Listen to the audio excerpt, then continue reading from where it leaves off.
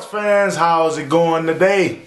Feeling good because the NBA is like there right now. You know, you could just like watch a preseason game, like, ha! You know, that didn't make no sense. But uh, I'm here to talk about Floyd Mayweather. Got sentenced to 90 days today for beating his baby mama, or yeah, his ex girlfriend, baby mama, in front of the kids. You know, got sentenced to 90 days or whatnot. He only had pay a um $2,500 fine, and I think it's 100 hours of community service. Wow, what the fuck?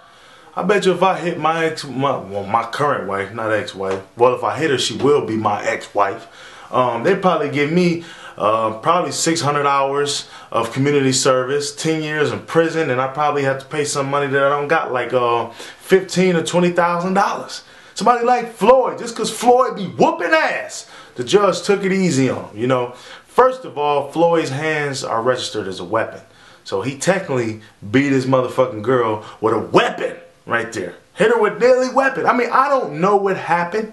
You know, but he did take a plea bargain or whatnot, so that kind of makes it seem like that you did do it, Floyd. If you did, that's some bitch move shit right there. You know, I can honestly say that that's some bitch move shit, because you whoop ass, dog, and I didn't want money because of you. You know what I'm saying? I'm I fucks with Floyd, and for me to see something like that, it really bothers me it lets a fan down and know like, man, Floyd beat the shit out of dudes. We know he will brutalize his fucking girlfriend, anybody's girlfriend, if they got in his face, and probably their boyfriends too.